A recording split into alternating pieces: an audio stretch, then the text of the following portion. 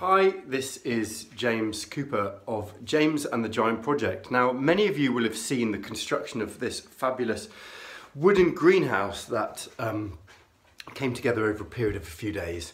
And uh, I just wanted to share with you the very first bit of planting that I'm going to commit to the, the soil. Because as you know, um, I've got these beds uh, which um, the plants can get their roots right down into the into the ground. So I'm watering um, it's not going to be such a massive issue. It's still going to be an issue, but not such a massive issue.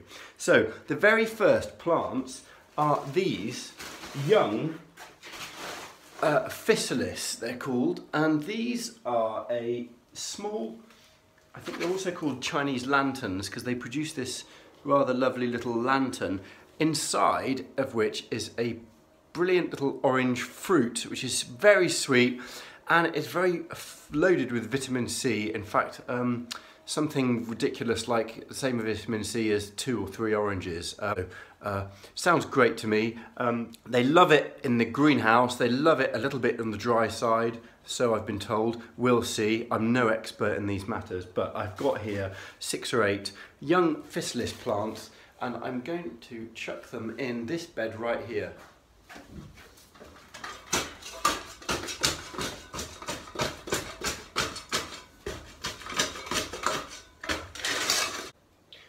So the first thing I've done is just to dig the bed over. I've pulled out a couple of um, weeds, big dandelion. I'm just going to dig through a little bit of compost and literally just get them in a row here. Um, that'll be it. So, here you go.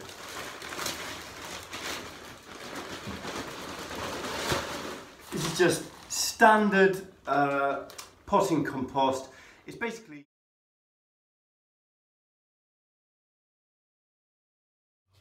And so there you have it, 10 beautiful young Physalis plants, uh, which I'm going to drench with water and then forget about. Michael Morpurgo's point of view came hot on the heels of another hotly debated edition of the programme.